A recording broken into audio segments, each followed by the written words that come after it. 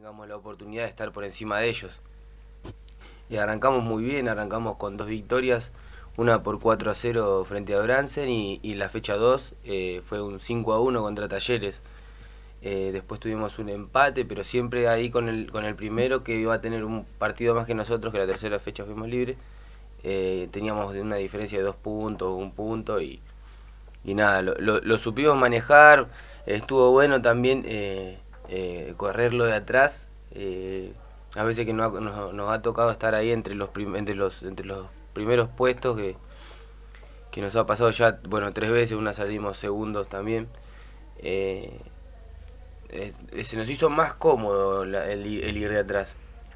Eh, porque bueno, teníamos menos carga al estar teniendo que aguantar, estar punteros y, y, eso también nos dio más fuerza para salir adelante. Bien, hasta esta fecha número 12 eh, igualaron tan solo dos partidos. ¿Cuáles fueron esos, esos dos empates? Eh, ¿cómo, ¿Cómo se dieron esos partidos? Si los recordás, por ahí quedan medio lejanos en el tiempo. Sí, no, no, los recuerdo muy bien, como no lo voy a recordar. El primero es con Montoro, Montoro que venía siguiéndonos. Eh, sí, sigue siendo escolta Montoro por hoy. Bueno, Montoro, ese partido lo empezamos ganando nosotros y tenemos cuatro goles en contra. Los cuatro goles en contra son de pelota parada. Uno de penal y tres de centro, cabeza, igual. El Forever el otro día fue así. Eh, bueno, y Montoro nos hace dos goles de un centro desde el mismo lugar y un centro de la misma persona, de la misma persona cabecea las dos veces. 2 a 1 y lo empatamos. Y sobre el final tuvimos la oportunidad de, de, pasarlo al partido y, y, bueno, ahí en la línea ya apareció una chica de Montoro, sacó la pelota, se me acuerdo, y después, bueno, Argentino Juvenil, que bueno, es un equipo que que ya estaba descendido cuando nos tocó jugar a nosotros. Eh, pero viste que esos partidos son siempre son los más difíciles, son los equipos que se cierran, que te plantean un esquema que, que, a veces es, es muy complicado de, de, pasar. Y bueno, nosotros las veces que pudimos eh, terminamos, terminamos fallando ahí en la última puntada, hasta tuvimos un penal que nunca habían querido amagar para patear un penal, quisieron amagar y la terminaron pateando al, al banderín del córner. Esos son los dos partidos que, que, empatamos y que bueno, aparte que el rival hizo buenos partidos, no solo es eso. Bien, solo para, para remarcarlo, no es que nos querramos basar en esos dos partidos donde no sumaron de a tres, porque es, es muy, sería eh, muy malo, muy maldito ponerse a fijar que empataron dos partidos. Eh, volvemos con vos, Marina. Eh, contanos un poco primero las sensaciones de, de tener a Mara en el equipo, que les aporta tanto gol y que, bueno, en la apertura terminó siendo la goleadora y hoy por hoy queda una fecha también, pero eh, ha convertido más de un gol por partido, me imagino que para ustedes debe ser muy positivo. Eh, sí, la verdad que tener a Mara en el equipo es una persona increíble, como compañera también. Eh, es una persona dedicada, entrena mucho y, y nada, siempre está tirando para adelante, siempre está buscando lo mejor para el equipo y a veces también siempre se lo decimos que se carga como el equipo al hombro, ¿viste? Ella no hace un gol y sale de la cancha como que no nos rindió, ¿viste? Como si no, fallé como jugadora lo que sea y siempre tratamos nosotros también de, decirle que no, que somos un equipo, que, que nosotros trabajamos juntas para eso y que el gol puede ser de cualquiera, que no se sienta en esa posición, ¿viste? Porque también aparte está Cleo, que también es una gran delantera y, y le aporta mucho a Mara y Mara le aporta mucho a Cleo, que creo que en los últimos partidos pasó eso, se complementaron muy bien ellas dos y pudimos sacar eh, partidos adelante que, que, la verdad que nos habían costado en otro momento. como Tolosano, que habíamos en la apertura salimos 1 a 0 y, y ahora en el clausura pudimos ganarle 4 a 0, hubo partidos así. Quizás eh, caemos un poco en mana porque es la quizás la que se lleva todas las miradas con la cantidad de goles que hace, pero es cierto que eh, tienen un equipo muy completo línea por línea eh, contanos un poco la, gran fortaleza que tienen a nivel grupo para, bueno, esto que te preguntaba hoy, de, lograr sostener este, este nivel a lo largo de todo un año, que no es para nada fácil.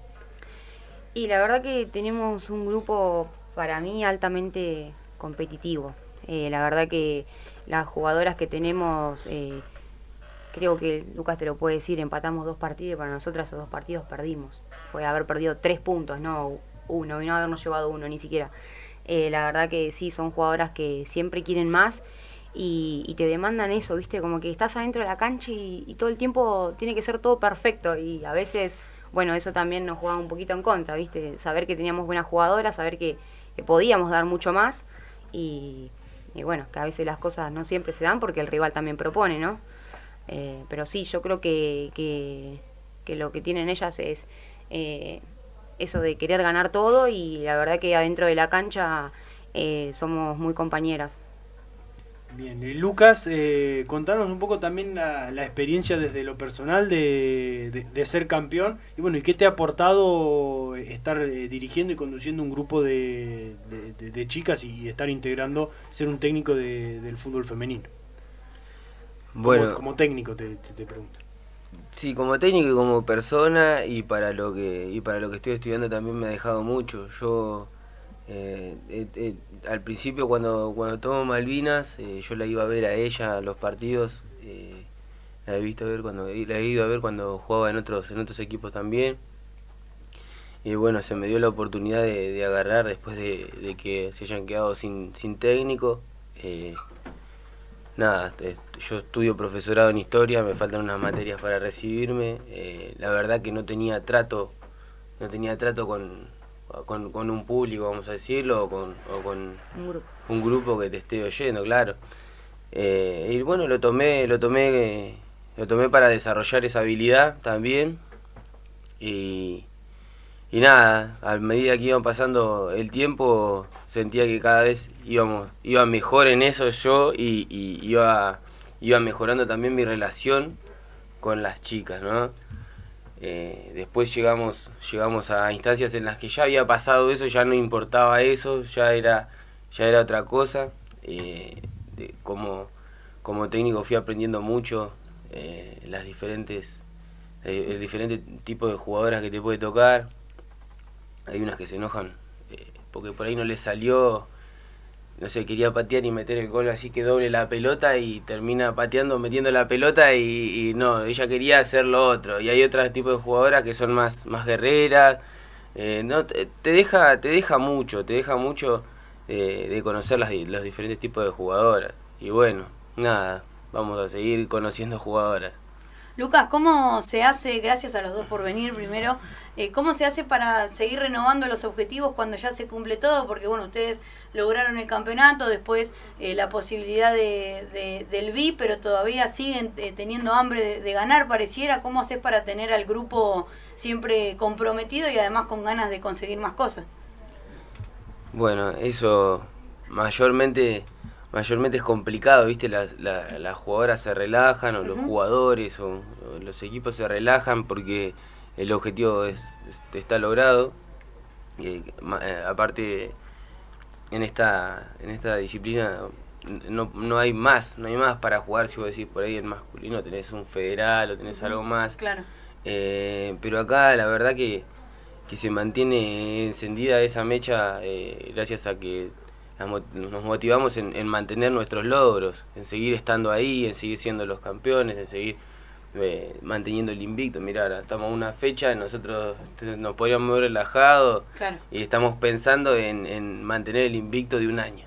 De un año completo. Lo mismo pasó el torneo anterior donde habían ido a cancha de fomento con el objetivo de mantener el invicto. Parecía que se complicaba y después eh, si no recuerdo mal, terminaron ganando. ganando, sí, sí, hicimos como cuatro cambios en el entretiempo y salimos con todo. Mejor, mejor eh, vayamos por otro lado. Sí, sí, sí, fue, ese día fue perfecto, la verdad. Salimos campeón con las dos categorías, fue perfecto.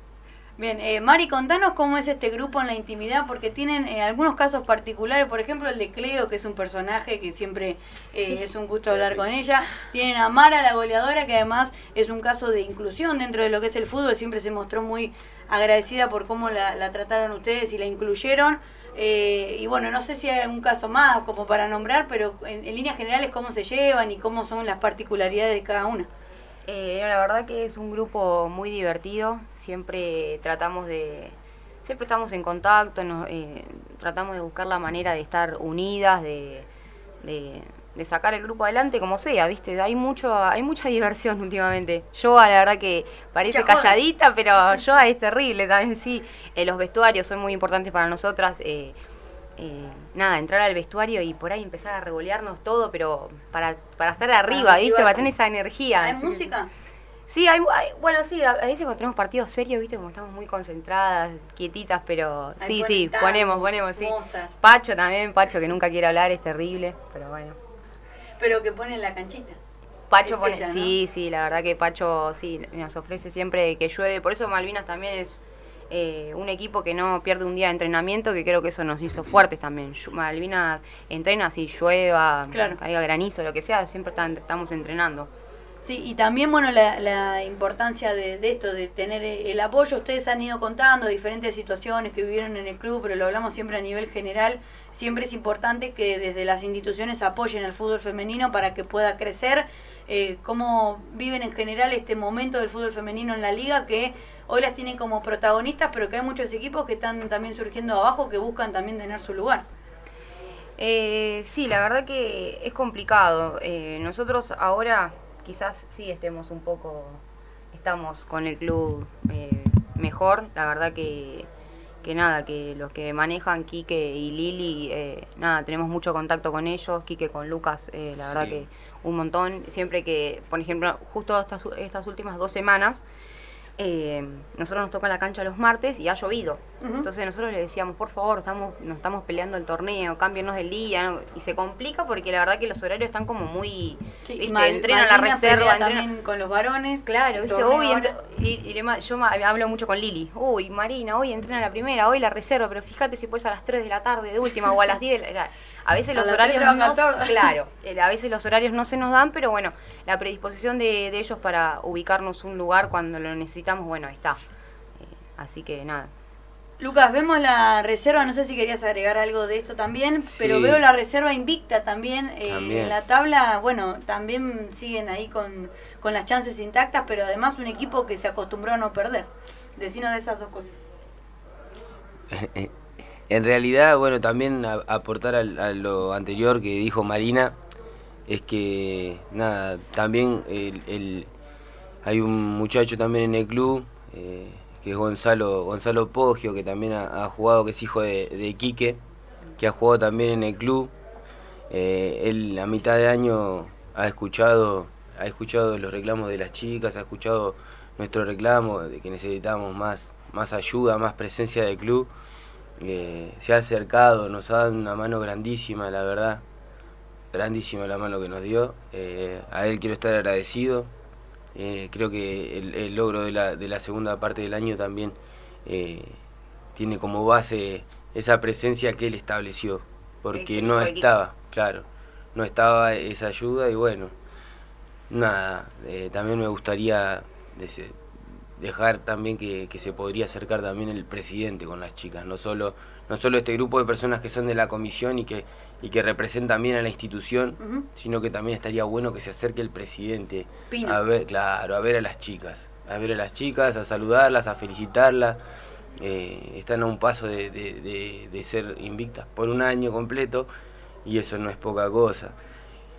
Y después... La eh, reserva que hice cuenta si no tiene chances, pero sí tiene chances de ser invicta también. Claro, tiene chance de ser invicta.